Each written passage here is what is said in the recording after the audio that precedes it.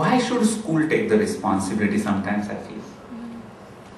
You're supposed to start educating your child the moment the child is born. By the child, time child starts going to the school, you have told him about the names of all the body parts, including private parts, also given in the lessons how to protect oneself from child abuse.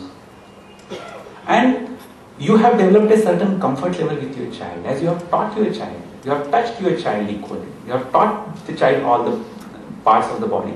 Child is so comfortable talking to you. On the contrary, in a school, the, every year the teacher is a stranger. It takes time for child one to adjust to a new teacher. And to go and ask questions to a teacher is more difficult than to come and ask to mama and to papa. And not that boys have to ask to father and girls have to go and ask to mother. No, it need not be so. Girls can very well go and ask papa. And boy can very well go and ask mother. Why should there be any such discrimination? So I was asked one day, ki, are you for sex education in schools? I said no. I said, you are saying this? You are talking about it for last 20 years. I said, if the parents do their job, why should schools need to do it?